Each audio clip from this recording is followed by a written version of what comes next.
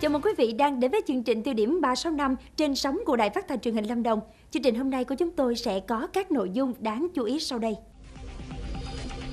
Tăng mức cho vay đối với học sinh sinh viên từ 15 tháng 6. Bà Rịa Vũng Tàu ăn ấu trụng ve sầu, nhiều người nhập viện vì ngộ độc.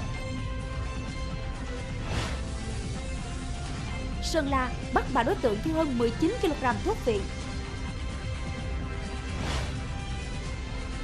Xuất hiện tình trạng làm đẹp học bạ để xét tuyển đại học.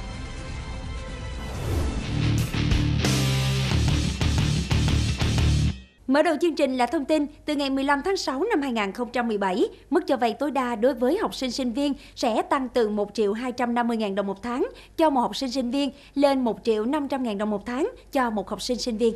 Thủ tướng Chính phủ đã ký quyết định 751 trên QĐ-TTC điều chỉnh mức cho vay quy định tại khoản 1 điều 5 quyết định 157 trên 2007 trên QĐ-TTG ngày 27 tháng 9 năm 2007 của Thủ tướng Chính phủ về tín dụng đối với học sinh sinh viên. Theo đó, mức cho vay tối đa là 1 triệu rưỡi một tháng một học sinh sinh viên. Như vậy, so với mức cũ đã áp dụng từ ngày 9 tháng 1 năm 2016, thì mức cho vay tối đa đối với học sinh sinh viên tăng thêm 250.000 đồng một tháng một học sinh sinh viên. Thủ tướng Chính phủ yêu cầu Bộ Kế hoạch và Đầu tư cân đối, bố trí cấp đủ nguồn vốn cấp bù trên lệch lãi suất và phí quản lý cho ngân hàng chính sách xã hội theo quy định. Ngân hàng chính sách xã hội có trách nhiệm thực hiện cho vay, giám sát, thu hồi nợ vay theo quy định của pháp luật hiện hành. Quyết định có hiệu lực thi hành từ ngày 15 tháng 6 năm 2017, áp dụng đối với các khoản giải ngân mới kể từ khi quyết định này có hiệu lực thi hành. Thưa quý vị, một vụ ngộ độc ấu trùng ve sầu vừa xảy ra ở ấp 3, xã Hòa Hội, huyện Xuyên Mộc, tỉnh Bà Rịa Vũng Tàu, khiến nhiều người trong một gia đình phải nhập viện cấp cứu. Trước đó, ngày 30 tháng 5, gia đình của ông THB, tên đã được chúng tôi đọc tắt, trú tại ấp 3 xã Hòa Hội, huyện Xuyên Mộc, cùng ăn một chén ấu trùng ve sầu xào. Đến 21 giờ cùng ngày, bốn thành viên trong gia đình có dấu hiệu nôn ói ú ớ nên được đưa vào trung tâm y tế huyện Xuyên Mộc cấp cứu. Đến 23 giờ cùng ngày thì được chuyển lên bệnh viện Bà Rịa. Lúc này, các bệnh nhân rơi vào tình trạng lơ mơ, co giật, sùi bọt mép. Hiện tại có 3 bệnh nhân đang được điều trị tại khoa hồi sức tích cực chống độc, một bệnh nhân điều trị tại khoa nhi. Đây không phải là lần đầu tiên bệnh viện Bà Rịa tiếp nhận các bệnh nhân ngộ độc vì ăn ấu trùng ve sầu. Theo các bác sĩ, các ấu trùng này bị rất nhiều nấm ký sinh hoặc nhiễm dư lượng thuốc bảo vệ thực vật khiến người ăn có thể bị ngộ độc nặng. Mặc dù được chiên xào kỹ, các độc tố này vẫn gây ra ngộ độc. Do đó, người dân không nên ăn ấu trùng ve sầu. Bệnh viện Chợ Đẩy thành phố Hồ Chí Minh cho biết, bệnh viện vừa thực hiện thành công ca ghép tim đầu tiên từ người cho chết não. Trước đó, bệnh nhân nữ 18 tuổi bị tai nạn giao thông nặng, hôn mê với tiên lượng tử vong. Nhận được sự đồng ý hiến tạng từ người nhà bệnh nhân, các ekip ghép tạng của bệnh viện đã tiến hành song song hành trình nhận tạng và ghép cho 4 bệnh nhân, gồm một ca ghép tim, hai ca ghép thận, một ca ghép gan. Đây cũng là lần đầu tiên bệnh viện thực hiện ghép tim. Bệnh nhân được ghép sinh năm 1990, ngụ tại Đắk Nông. Ba ngày sau ghép, tình trạng sức khỏe của bệnh nhân đã ổn định. Cái ghép tim lần đầu tiên thành công này đã đánh dấu sự khởi đầu cho lĩnh vực ghép tim tại bệnh viện chợ đẩy, góp phần gia tăng cơ hội cho các bệnh nhân chờ ghép tim tại miền Nam cũng như cả nước. Chuyển sang một số thông tin đáng chú ý khác.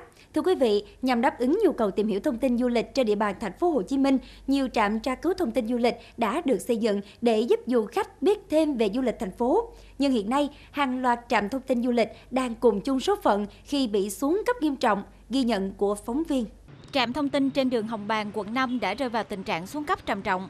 Màn hình tra cứu thông tin du lịch không hoạt động, chữ mờ nhạt, cảm ứng không nhận dấu vân tay. Một số trạm còn bị vẽ bậy, trở thành nơi cất hàng hóa hoặc để rác lên màn hình gây mất mỹ quan đô thị. Theo mình thấy thì những cái trạm thông tin du lịch ở trên đường Hồng Bàng một số cái thì đã xuống cấp trầm trọng rồi. Cái màn hình để tra cứu thông tin á là không còn sử dụng được nữa. Một số người thiếu ý thức thì lại biến cái trạm trở thành cái, nơi để rác á. Như thế làm mất cảnh quan đô thị. Trước tình trạng trên, việc sửa chữa khắc phục các trạm thông tin là rất cấp thiết nhằm cung cấp nhanh chóng thông tin cho khách du lịch và lập lại mỹ quan đô thị của thành phố. Đình và miếu khai canh làng Thế Lại Thượng trên đường Bạch Đằng, phường Phú Hiệp, thành phố Huế đã có gần 200 năm tuổi. Nơi đây nổi tiếng với lối kiến trúc và không gian độc đáo, được xếp hạng là di tích cấp quốc gia năm 1999. Thế nhưng do sức tàn phá của thời gian và thời tiết khắc nghiệt, cả hai di tích trên đang bị xuống cấp nghiêm trọng. Hiện tại, đình và miếu khai canh làng Thế Lại Thượng trở nên nhếch nhác triệu rã. Bên trong tường nứt nền đúc bị vỡ loang lỗ, các kết cấu gỗ bị mục khiến kèo, xà, cột đều gãy, nội thất điện chính bị biến thành nhà kho chất đầy bàn ghế. Vì thế đình làng bị bỏ hoang nhiều phế tích. Cột keo và mày ngói cũng nó, nó, là tay ở trên ờ, thì ờ, nhiều của làng cũng bị là, là, là gãy rồi. Là mưa cũng là, là giọt. Và trong uh, miếu là bây giờ là cột keo đồ nó hư hết. Được biết, chính quyền địa phương đã gửi văn bản lên cơ quan chức năng xin chi phí để trùng tu một số hạng mục, nhưng chờ mãi vẫn không thấy hồi âm. Với bề dày lịch sử và kiến trúc độc đáo, mong rằng đình và miếu khai canh làng Thế Lại Thường sẽ sớm được các cấp chính quyền quan tâm, nhanh chóng tu sửa. Một vấn đề nóng nữa cũng đang khiến cho dư luận rất quan tâm. Thưa quý vị, những ngày vừa qua, tình trạng khai thác cát trái phép dưới chân núi Hàm Rồng, xã Cam Thành Nam, thành phố Cam Ranh, tỉnh Khánh Hòa ngày càng tăng, khiến cho đất canh tác của người dân liên tục bị sụp lở. Con suối Hàm Rồng nơi đây cũng đã bị bong nát nham nhở. Ghi nhận vào ngày 29 tháng 5, dưới chân núi Hàm Rồng nằm về phía tây thành phố Cam Ranh, những đống cát hiện rõ trên các cánh đồng của người dân, nhiều nhất là tại làng đồng bào dân tộc thôn Quảng Phúc, xã Cam Thành Nam.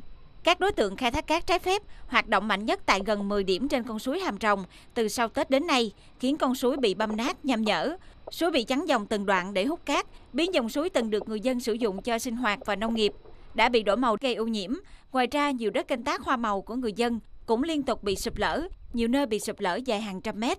Theo chính quyền xã Cam Thành Nam, tình trạng khai thác cát trái phép trên kéo dài gần một năm nay. Mặc dù địa phương đã cố gắng ngăn chặn nhưng gặp rất nhiều khó khăn do các đối tượng bố trí nhiều tai mắt cảnh giới, rất khó để bắt quả tang. Tình trạng trên hiện đang rất cần sự can thiệp của các ngành chức năng để cứu lấy con suối cùng nương rẫy hoa màu của người dân đang sắp bị khai tử. Thưa quý vị, tại xã Ia Tầm Mốt, huyện Ia Súp, tỉnh Đắk Lắk đang có ổ dịch tại một hộ chăn nuôi với 600 con vịt mắc bệnh phải tiêu hủy. Điều đáng nói là công tác phòng chống dịch cúm H5N1 trên địa bàn này lại đang gặp rất nhiều khó khăn do bà con vẫn giữ thói quen cho vịt chạy đồng, nguy cơ bùng phát dịch là rất cao. Vào giữa tháng 5, đàn vịt nuôi chạy đồng của nhà anh Triệu Việt Hùng ở thôn 10, xã Ea Lê, khoảng 1.300 con bất ngờ bị nhiễm virus cúm gia cầm H5N1.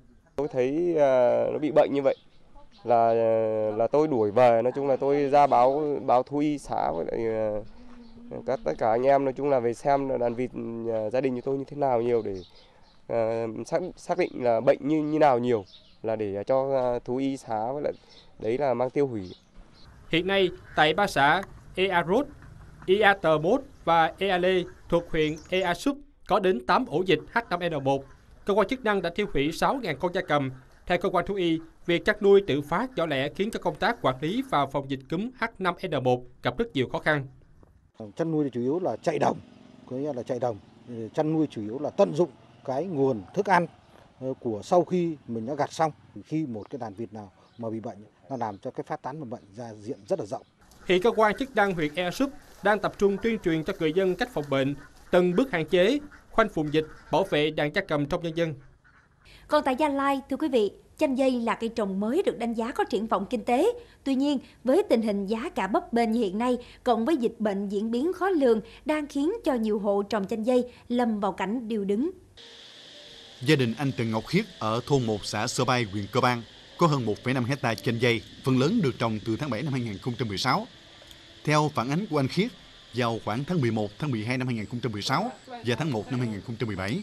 Sau những trận mưa liên tục, một số diện tích chanh dây trong vườn đã xuất hiện dấu hiệu của bệnh, phổ biến là hai bệnh bã trầu và thối cổ rễ. Từ một vài trụ bị bệnh ban đầu, đến nay đã lan ra diện rộng. Toàn xã Sơ Pai có 26 hecta chanh dây, phần lớn những diện tích trồng đã cho và chuẩn bị cho thu hoạch quả đều bị dịch bệnh tấn công. Không chỉ bị dịch bệnh tàn phá trên diện rộng, theo thống kê ban đầu của ngành nông nghiệp và chính quyền các xã thị trấn huyện Cơ Bang, toàn huyện còn có 10 hecta chanh dây không cho trái. Theo phỏng đoán ban đầu, rất có thể là do chất lượng giống. Trong khi tình hình dịch bệnh diễn biến khó lường và không có thuốc đặc trị, thiệt hại đã rõ ngay trước mắt.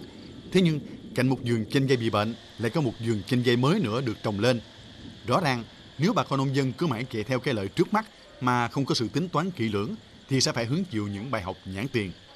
Thưa quý vị, xuất phát từ yêu cầu thực tế trong chuyến đi tình nguyện, một nhóm sinh viên thành phố Hồ Chí Minh đã đưa ra ý tưởng về một thư viện xanh mang lại không gian vừa học vừa chơi dành cho các em học sinh tiểu học. Thư viện này được thiết kế hoàn toàn xanh từ các vật liệu sử dụng, nguồn năng lượng sử dụng. Được thiết kế theo mô hình giáo dục tiên tiến và yêu cầu thực tế của trường tiểu học Xuân Mỹ ở Hàm Thuận Bắc, tỉnh Bình Thuận. Thư viện xanh được thiết kế hoàn toàn xanh từ các vật liệu sử dụng, nguồn năng lượng sử dụng đến không gian cây xanh. Bên cạnh hai chức năng chính là lưu trữ sách và thực hiện mô hình giáo dục tiên tiến, Thư viện xanh còn có những điểm độc đáo trong xây dựng và vận hành, như khu vực trồng thuốc nam nhằm tận dụng khoảng không gian trống trên mái nhà, vừa tạo nguồn dược liệu tại chỗ, vừa giúp các em học sinh tìm hiểu thêm về thực vật và môi trường. Vật liệu chính xây dựng thư viện là đất sét lấy từ đất làm ao nuôi tôm, được sử dụng một số phương pháp kỹ thuật hiện đại.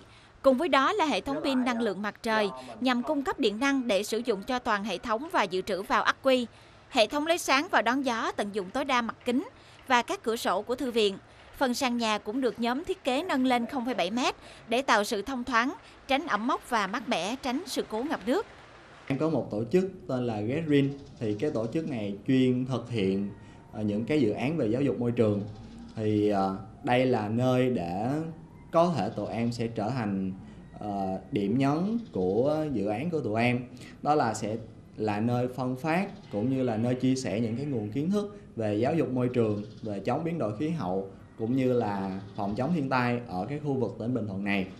Thư viện còn được thiết kế là nơi áp dụng mô hình giáo dục tiểu học tiên tiến với các lớp học về kỹ năng sống, kiến thức bảo vệ môi trường và biến đổi khí hậu thông qua các hoạt động vòng tròn được tổ chức định kỳ mỗi tuần.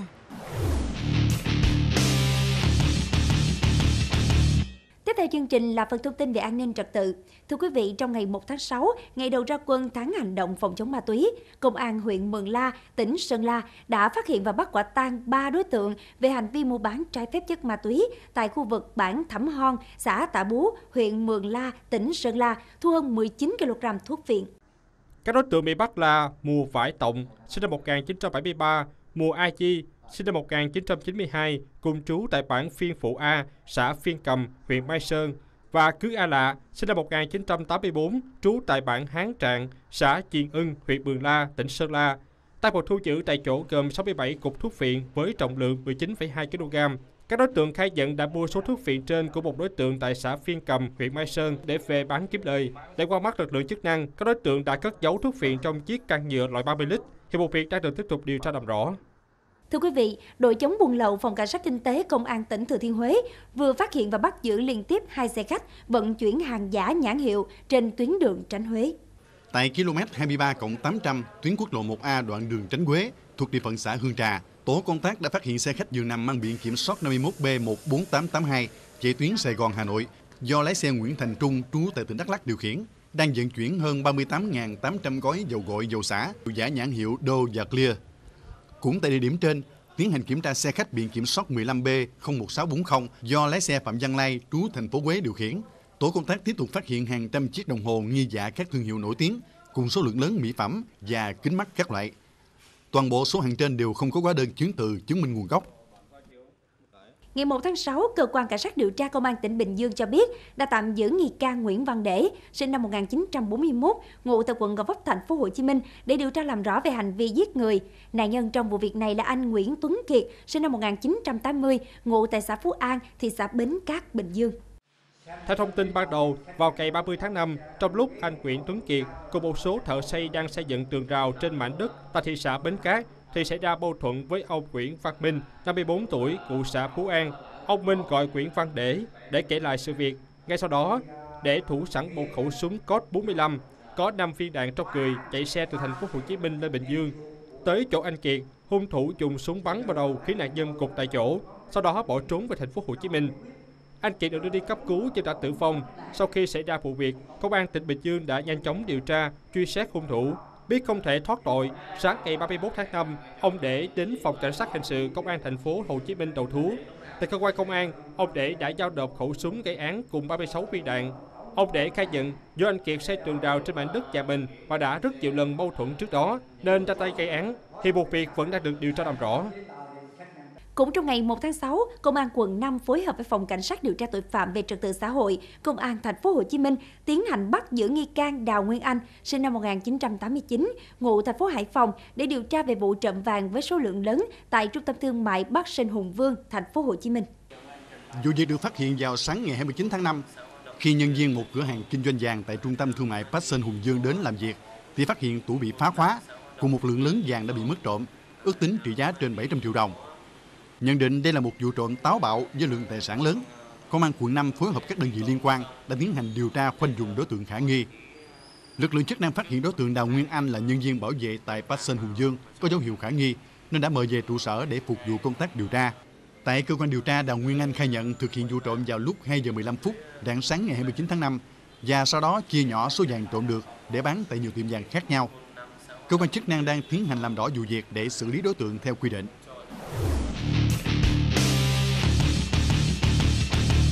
Phần cuối chương trình mời quý vị đến với tiểu mục vấn đề hôm nay. Thưa quý vị, năm nay quy chế xét tuyển bằng học bạ đang được nhiều thí sinh ưu tiên lựa chọn để vào đại học. Thế nhưng điều này cũng khiến cho nhiều người trăn trở. Liệu rằng vào đại học trở nên quá dễ dàng khi chỉ cần một hồ sơ học bạ đẹp, thí sinh không khó để vào các trường đại học, thậm chí là những trường đại học uy tín. Từ mùa tuyển sinh năm 2016, xét tuyển vào đại học bằng học bạ được nhiều trường có đề án tuyển sinh riêng áp dụng.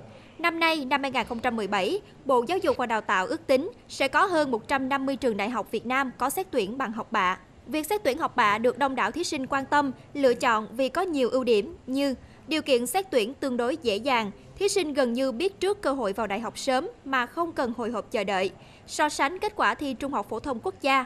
Phương pháp này cũng giúp thí sinh tiết kiệm thời gian, giảm áp lực thi cử.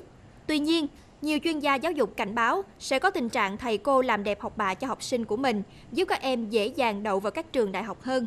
Cái, cái việc mà xét học bạ cần phải kết hợp thêm với các yếu tố khác. À, nếu chỉ xét tuyển học bạ như vậy à, thì cũng sẽ có thể dẫn tới một cái việc lo làm sao để có một cái kết quả trong học bạ một cách tốt nhất. Nó được thực sự mà các em vào học đại học thì trước sau gì trong thời gian học đại học các em cũng sẽ bị loại ra khỏi cái giảng đường đại học bằng cái học lực của các em.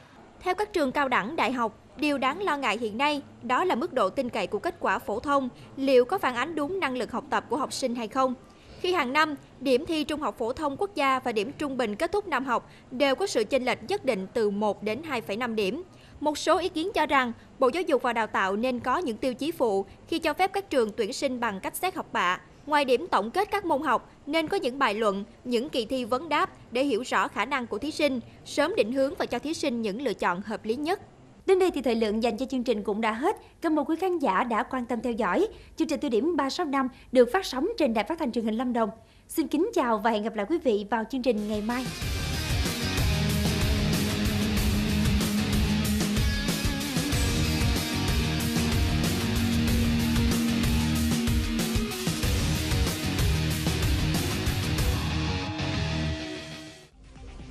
Kỳ thi Trung học phổ thông quốc gia 2017, khoảng 60% câu hỏi thi Trung học phổ thông ở mức cơ bản.